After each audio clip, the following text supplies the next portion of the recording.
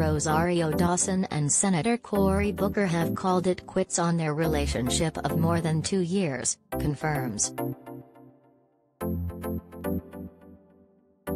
A source close to the New Jersey lawmaker says the former couple aren't dating anymore but remain good friends. A Booker rep had no comment. Reps for Dawson did not respond to a request.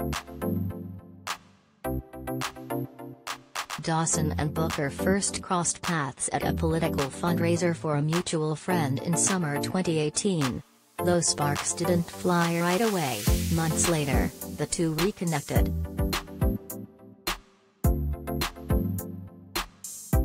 I mean, gosh, that night we talked for hours and hours, Booker, 52, told The Washington Post in 2019.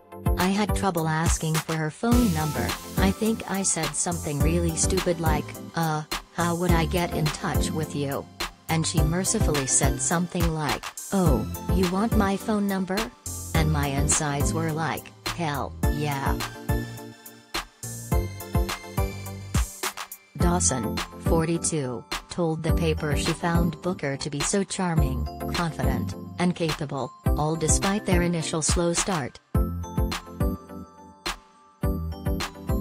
It's not like that translates to being some super smooth kind of guy, she said at the time. That's not his style. But his sense of humor helped. What wins me over with him is definitely the dad jokes, Dawson told the Post. The pair initially held off on confirming they were dating until Dawson was spotted by TMZ at a Washington, D.C., airport.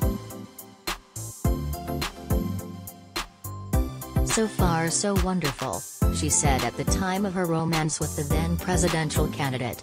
Has a wonderful human being. It's good to spend some time together when we can.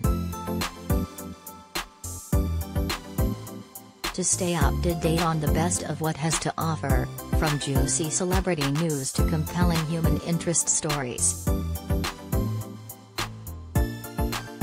A couple that includes a U.S. senator and former presidential candidate and an actress who's also an activist must be able to juggle two busy schedules and frequent time apart, which they said they remedied with weekly meetups, FaceTime calls and romantic gestures like Booker's habit of reading to her on the phone and sending Dawson music.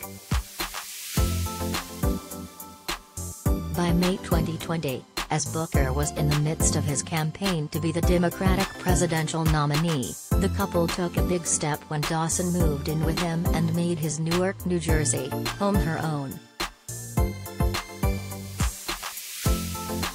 This is the first time in my life I've really lived with somebody, and obviously Rosario and I are enjoying and adjusting to that, right? Booker told BuzzFeed the following October. Being under the same roof allowed the pair to spend a little more time together, even if it was only 20 minutes at the kitchen table for breakfast or an early dinner after Dawson cooked a meal. I have not done that, really, as a bachelor, where I actually sit at a table and just, like, breathe and eat a meal, Booker said.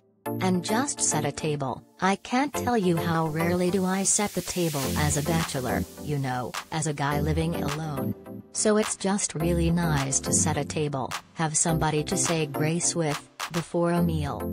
It's just those small things really are, I'm finding, incredibly enriching.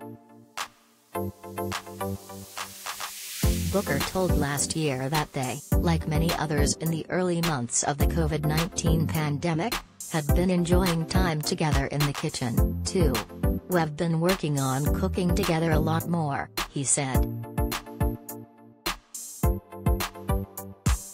Literally she just bought a food processor, a Cuisinart thing, for our kitchen yesterday, he said.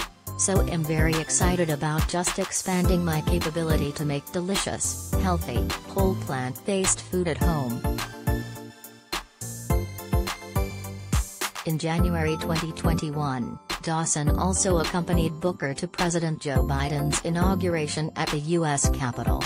He supported her by wearing a matching mask from her company Studio 189 and she supported him by congratulating the senator on defending his seat.